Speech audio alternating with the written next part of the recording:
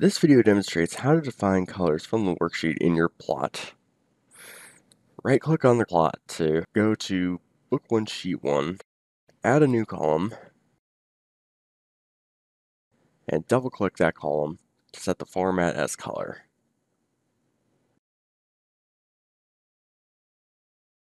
Now fill it with row numbers.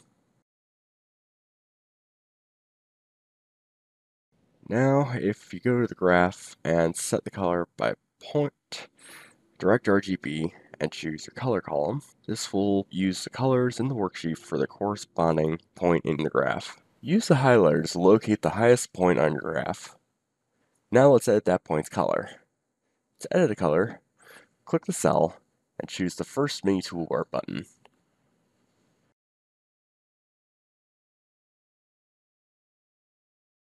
Use Control C to copy the color and paste it to the other cells.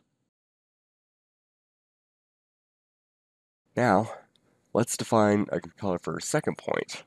Click on the first point here, and this time go to the second mini toolbar button to define a custom color for your point. And that concludes our video. Thanks for watching.